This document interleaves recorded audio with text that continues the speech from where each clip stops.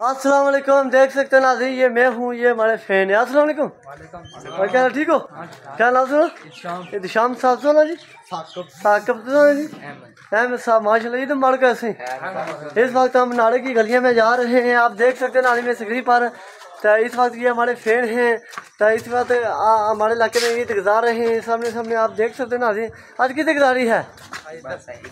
अच्छा नाली गलियों अच्छा ये नाली की गलियों की ईद गुजारते हैं, आप देख सकते नाली में स्क्रीन पर माशाल्लाह, ईद कैसी गुजरी है?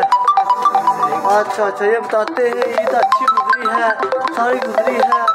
इस वक्त तो ये फिर रहे हैं एक नालियों के सामने सामने ये देखिए गलियाँ, नाले की सामने सामने वीडियो अच्छी लगे, लाइक करना, सब्सक्राइब करना।